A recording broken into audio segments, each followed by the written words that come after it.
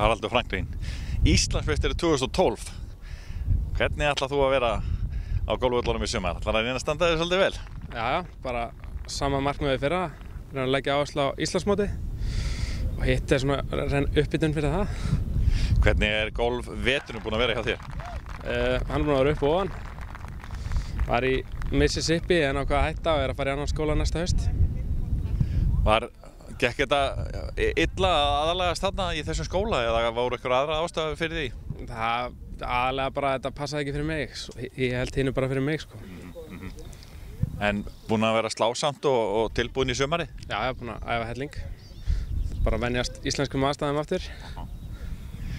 Breytist eitthvað hjá þér í fyrra þegar þú var, já, þú vannst ansi mikið í fyrra, Íslandsmjöstari í, í, í högleik og, og, og bættir um betur. Fannst þér eitthvað breytast hjá þér eftir það? Ég fekk kannski meira sjálfströst, svo held ég að þetta hafi sínt bara líka félagum minnum í GR að við getum þetta alveg, sko.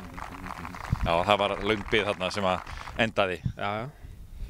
Og Íslandsmóti hér á, á, á já, öðrum þínum heimavelli hérna á Korpunum, hvernig leggst það í því? Já, þetta er langt bestu vellar á landinu, þannig að þetta leggst bara ljómandi vel í mig.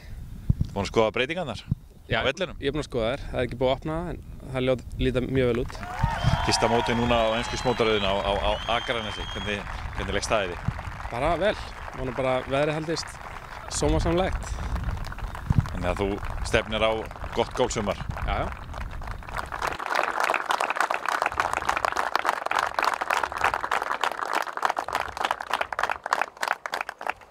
Þetta er upp með dótuna.